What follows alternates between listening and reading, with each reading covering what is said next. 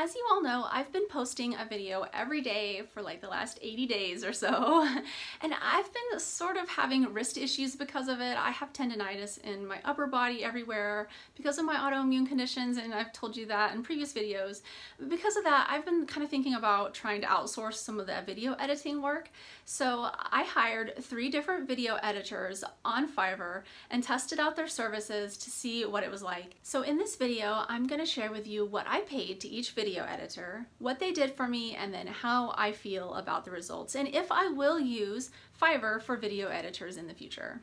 I'm to keep this kind of anonymous on here. I'm sure that if you do a little research, you can figure out who my video editors were on Fiverr, but I'm to leave it to be anonymous because I'm not trying to do this to promote any particular Fiverr user or anything like that. And I'm not an affiliate of Fiverr. I don't make any money off of this video. All of the videos that I sent to the editors were roughly the same length, about 10 minutes, and they were roughly the same level of uh, difficulty and editing. They were video vlogs, just like what you're seeing me talk about today where I did talks teaching different things about art business and art tutorials and things like that. The first editor I'm just going to refer to as Video Editor A. He was from the UK and he charged me $20 to edit my video and it took him about three days to get it completely edited. Now, when I hired him, he said that he could do it in one day because this was my requirements for all the editors, was that they could edit one video every day all month long for me, so they'd have to be able to turn them over one a day. And I thought $20, well, maybe I could afford that, it'd be a stretch, but I don't know what editors cost on there. So I wanted to try out different price points. But he did great. Um, he did exactly what I needed him to do.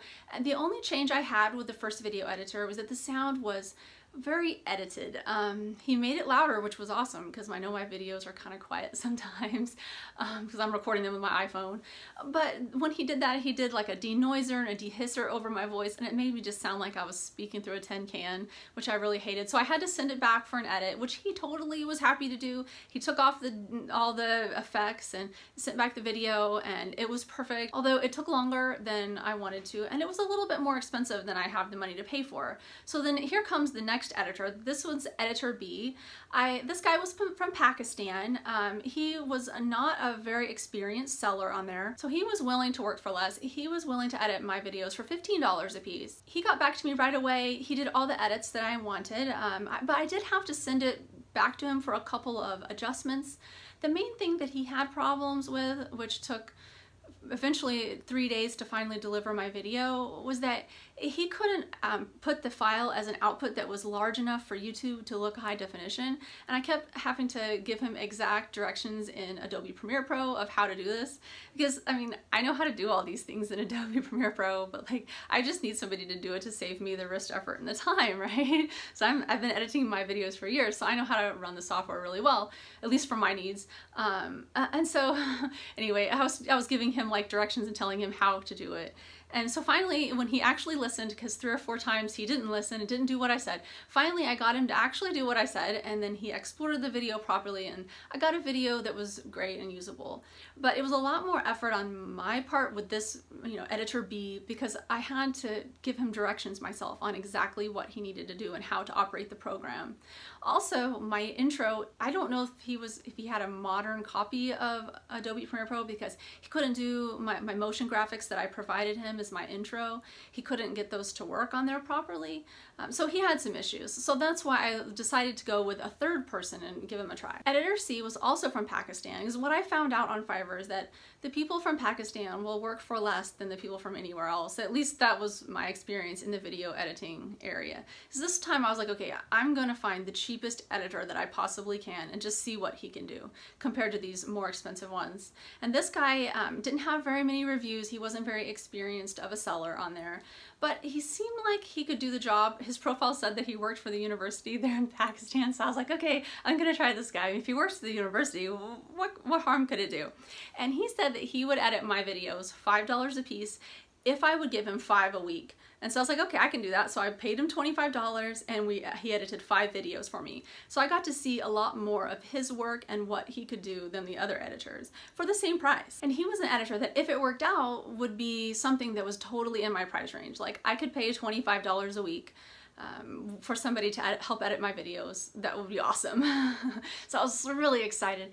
And he's a super nice guy. He would get back to me whenever I would message him, he would get right back to me, even if it was in the middle of the night over there, which I kind of felt bad about, like I was waking him up in the middle of the night. But he was like a real go-getter. So I was like, this guy's gonna be great. And, and at first he was like the first couple videos he edited for me were good.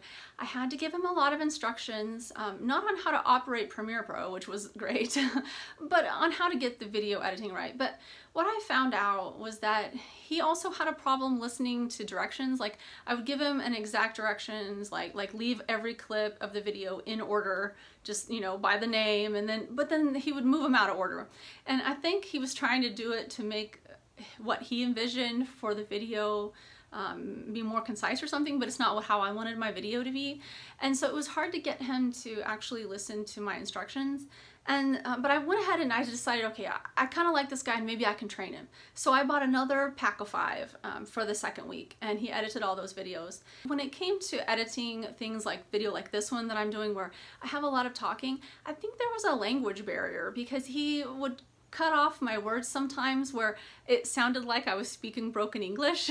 And, and, I know it was the language barrier because he was a great editor but I just think that he didn't quite understand the the this the message I was trying to communicate and and how like I'm kind of a giggly laughy person and I don't want all that stuff cut out because then it makes the delivery seem dry kind of. So I think he didn't quite understand me as a personality on YouTube and, and what I'm trying to the message I'm trying to get across with my YouTube channel and how I'm trying to be real on here. Right? I don't think he, I, could, I couldn't communicate with him about it. I, I tried really hard to. and so some of that failure, because I look at it now as a failure, um, some of that might be my level of being able to communicate to him what I wanted. So all in all, I would consider all three experiments failures because now going from here on out, I'm just going to edit my videos myself. I've realized that hiring the editor and communicating with them through Fiverr a whole bunch, like it just took more time than it would take me just to edit the video right to begin with.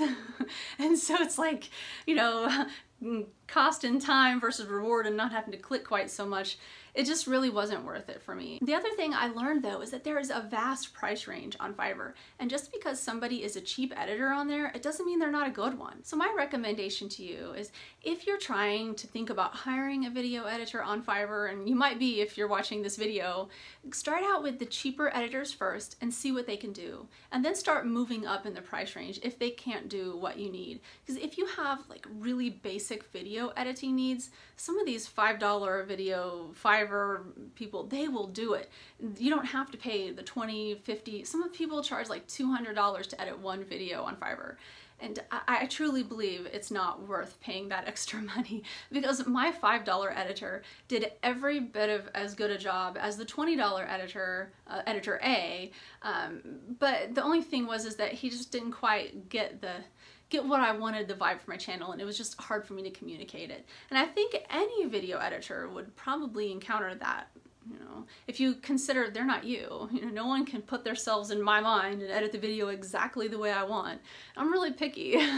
so, I mean, knowing that about myself, I should have known that going into it, that it probably would be a failure. But if you're not too picky, um, or if you need like business videos or something that doesn't necessarily have to show you as a personality, but just needs to get the message across, one of the $5 cheapest editors on there will probably do a good job for you. At least that's my experience. So yeah, I would love to hear your thoughts on video editors. And if any of you guys have tips for me on where to get a cheap video editor, that would be awesome because I suppose I'm still in the market for one. I mean, you never know. All right, well, thank you so much for watching. See you next time.